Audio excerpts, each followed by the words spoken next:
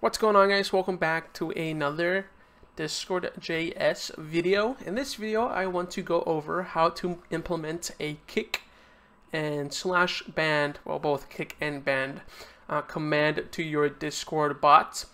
Last couple videos, if I can come here and pull this over here, uh, we went over such things like sending attachments, sending pictures from the web. Uh, so this is a picture from you know somewhere in the internet and then the bot would go fetch the picture and send it here.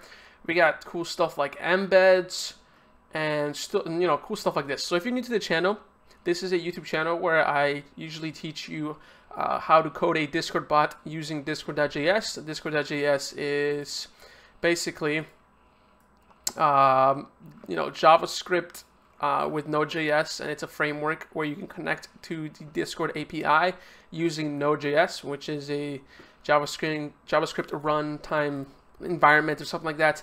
Basically, I teach you how to code a Discord bot with JavaScript. And in this video, I'm going to teach you how to do commands.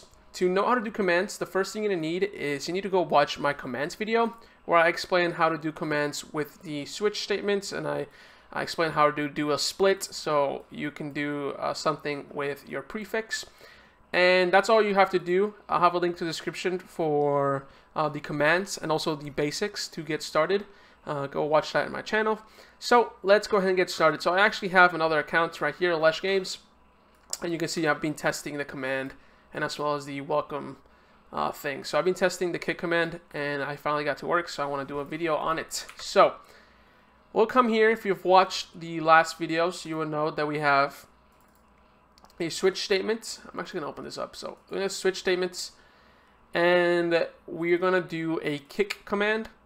So here we go. We're going to just type in the case kick, and we're going to start beginning here. So the first thing we want to make sure is that there is, or the second argument, um, it's basically mention someone. So when you do something like kick, like this, a command, um, we want to make sure that if he just sends this, or if the administrator or whoever you know is typing this command, if he just sends this, that we send him a message saying, "Hey, listen, uh, you need to mention someone in your second argument, so you need to do something like this, or you can kick a player if you do this."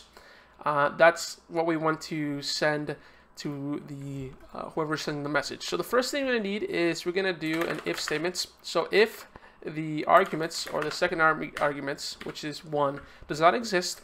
We just want to message message uh, that channel that send, and we're just gonna say if I'm doing, am I doing this right? Message that channel that send. Uh, I need to put another. This is sorry, another. Uh, close that. And actually I'm typing this wrong. So we're typing if. There we go. If, and then we have the args. Sorry which is the 1. If it, it, does not happen, so we're going to do this. So there's no argument, the second arguments, then we're just going to do message, that channel, uh, that send, and I think I'm getting an error. Why am I getting an error? I think I have to do this on the outside. Yeah, I'm, I'm sorry guys, I'm not in my game right now. Message, that channel, that send, and we're just going to send um, saying you need to specify a person or something like that. And that basically happens. So if there's no second arguments, if he just types kick, then we just want to say, hey, you need to specify a player or a person. So the second thing we're going to do is we're going to do a const. We're going to name this user.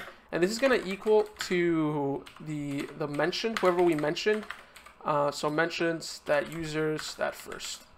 Uh, first. Let's do that. So this basically gets the user, the first user that we mentioned. Um, so here we check if he says something after kick, if the second argument, um, if it doesn't include anything in the second argument, it's just going to send a message. And then here it's just going to uh, make a user va variable or constant that holds the mentioned, the first mentioned user uh, that whoever sends the command. So then we're going to do, say if the user, and if you don't know programming, this basically means that if user is true, so if he has mentioned somebody in this command, if the, the user is true, we're going to do another constant, and we're going to just name this member. And it's going to be member dot guild that member and then user. This is going to check if the person we mentioned is basically in our server. A guild is kind of like our server. So we're going to check that off. So if if it exists, put it into the constant of member. And we're going to do one, one more uh, if statement. And we're going to do this member. Basically, once again, if member is true, um, then we continue on. And then here we can do something like member. And we're going to do a kick command for first. And we're just going to do, let's see, uh, let's say you were kick for trolling or something. And then we're going to do a dot, then a den. And why did not, oh, sorry. This is has to be a an arrow function. Or we're going to make it an arrow function, so let's do that. And let's put a semicolon there because I'm used to pulling semicolons. And we're just going to do message that reply. That's, um, and we're just going to do a little tilde keys. Those, those are the ones usually next to your number one. Uh, so it's not no. Uh, these are quotient like quote like quotients like like this. I forgot what they're called. We're actually doing a tilde, and I'll explain why. Then we do something like uh, success successfully uh, kicked, and then we're gonna do a money sign, and then brackets. No, sorry, these brackets right here. User that tag and then it's basically going to say successfully kicked and then the tag of the user which is the name. And then we're going to catch for errors. So we're going to do catch. And we just want to make sure we're going to just name it error. Actually just error. Keep doing that. There we go. And we're going to open this up. And we're just going to do message that reply. And I was unable to kick the member if there's some reason that we just want to say, hey, this guy couldn't kick it. And then we're also going to console.log it. Uh, so we have that log in our console, error, and that's it. Then what we're going to do is we're going to create another else statement. And this is going to be um, if the person's not in the server. So I'm message that reply, and we're going to do, uh, we're actually going to do another tildes, and I'll explain why. Um, and that's going to be that user isn't, and then for the isn't, I have to do a backspace T. Actually, no, no, no, no, no, no. How do we do this again? No, I think we can just do, yeah, we don't have to do tilde. We can just do regular.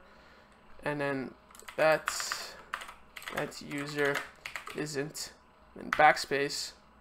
Then the, this little mark here isn't in this guild. And we're going to finish it off like this.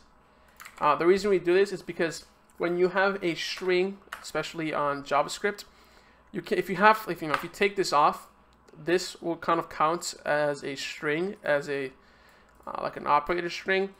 Uh, so basically, this does not count, and only this will count. It, it basically messes up. So we have to do is do a backspace and then continue doing this. So you can actually have the whole entire phrase in one string. Um, and then what we're to do is we're to do one final, let's just organize this, one final uh, else. So else, actually I think I'm doing this wrong. Yeah, it has to be here. Else on the outside. This is this is the else for the the first if for the if of user. And in here we're just gonna do message that message that reply um, and we're going to do something like that user isn't. Uh, I'm going to do the same thing, backspace, oh, backspace, tail isn't uh, in the guild. Same thing as like in the server. So you can say this guy's not on the server. And there we go, finish that. We seem to be getting an error. Expected comma. Period. We're missing one? No, we're missing one. What, what's happening here? So that's fine like that. Else. No, not prefix. Uh, I don't know what I did wrong. Oh, I'm so stupid. Uh, finish it off with this. There you go. And that's pretty much it. Now what I'm going to do is I actually have, if you're using Visual Studio Code, you can get a, a quick, uh, what's called? You can get like a, you come here to the extensions, you can get something called Beautify. what you do is you right click, you go to format, and it will format everything so it makes it pretty. And I mean, it really didn't change much because I already had my code uh, written pretty uh, pretty cleanly. So then we're gonna do node space dot, or if you if this does not work, if you can't do node space dot, what you can do is do node run index.js. But we can do uh, oops node space dot, and you'll see our bot is online. We come here into our server, and what we can do is first if we do kick, it's gonna say you need to specify a person, and it also said that person is not in the guild. Uh, the reason it said that is because if we go back to this,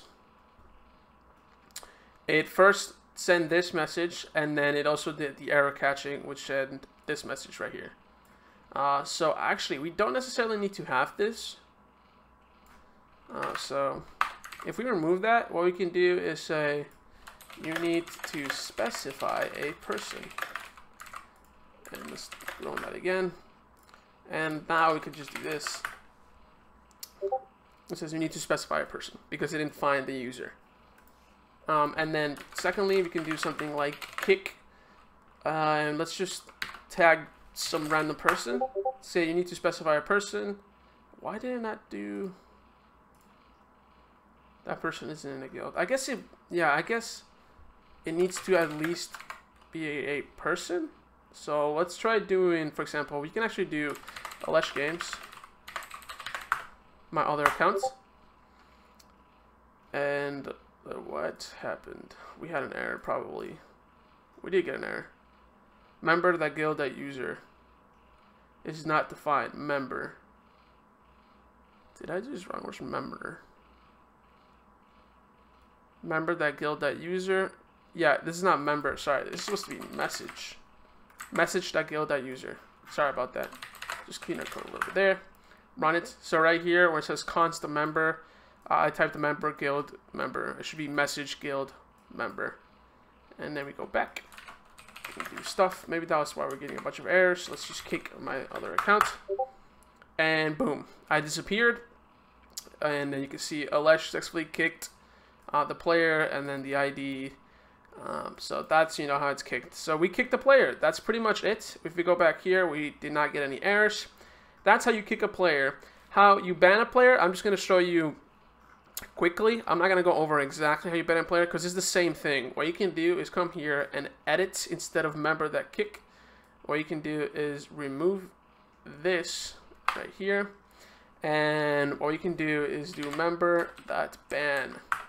And in here, you open this up, you put brackets, and then you put reason with a colon. and in here you say you were I don't know, you were bad or something. And that would be the reason to do that. Um, and then we can do something like then, and then you can message the person, but I, I don't want to do the, actually I'll show you, why not? I'll be a little generous. We can just do a then. Uh, yeah, why not? So then, and we're to do arrow function see, I'm kind of tired. Uh, gonna do that and that. There you go. Then we do a then with arrow function, and we can use the message that channel that uh, not message to reply. We should probably reply to the person, and then you can say something like, "We banned the player." Blah blah blah. And then if you want to do a cool, you can actually do the tilde here. Let's move all the way here to tilde, and then we can do the money sign. I can find money sign, money sign, uh, user that tag.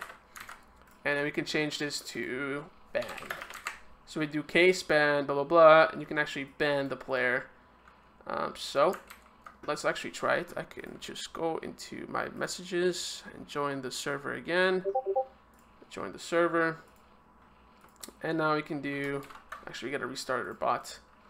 So control C to exit the terminal, if I can bring this up. So, oh, I typed on. What did I just do? There we go. Uh, we need to clear, clear, clear, I can type clear, node space dot. Uh, the bot is going to be running, and we can do ban, and then add a lesh names. and we banned the player, blah, blah, blah, and I was banned. And that's how you ban players. And now I actually can't, can I join the server? Nope, I cannot join the server anymore. My player is fully banned from the server. I don't know how the, how you can check ban, oh, bans right here, and Alesh Games. So now, that's how you do a command to ban a player. So we're going to revoke ban, because why would I want to do that? And come on, can I join again? Uh, I did. There you go. Join again, and that's how you can do a ban. So we get kick and a ban command. Uh, we were having some problems because of the instead I put I put here I put a member instead of message. So hopefully I didn't trick you guys much throughout the video, but uh, it was my fault. It should have been instead of member, it should be message. With that being said, I hope you guys enjoyed this video. If you did, make sure you like the button. Uh, one thing I do have to say is, since this is a coding channel and I want you guys to go you know, through the process, I'm in the process of learning Go. Go is another language, and I really, really enjoy Go. And I might start doing it very later, later after you know I've successfully grown this channel and started doing stuff with Discord. Uh, start using Go because Go is such a good language. Like I'm really enjoying uh, how you know how you construct classes and structs and and it's very clean and I like the language. So I might be doing a it's called Discord Go where you can actually code uh, your own Discord bots with Go. Go is Golang. It's a language made by Google. And if you really want to get fully into programming, programming, uh, learning like a language like Go uh, can you know can greatly uh, help you learn how programs work, how programming works, and with Go. Uh, you can do a little bit more than you can do stuff with JavaScript, even though JavaScript has Node.js now, and you know it basically can do anything now. Uh, but with Go, it's it's basically like if Java, it's basically like if Python had a a baby with like C++, and it, it's it's like as fast or close to C++ speed, but like uh, it's very visual, visual. Like you can you like enjoy writing it like Python, and you can you know read it like Python. Uh, but it's a very good language. So I just want to let you guys know what I'm doing. I'm trying to learn a little bit of Go. So that with that being said, that's pretty much the end of this video. Next video, I'm actually going to teach you how to save your tokens because right here we have our hard-coded token which we don't want to do that because uh, this is not safe. Someone can come here and steal our token as well as our prefix, maybe our version. So I'm going to teach you next episode how to do JSON files and store all of these uh, valuable stuff information into a separate file where it's going to be harder for someone to access it. Well, I hope you guys enjoyed this video. If you did, make sure you hit that like button. Comment below any suggestions for upcoming videos. And yeah, I'll see you guys later on my next video. Peace.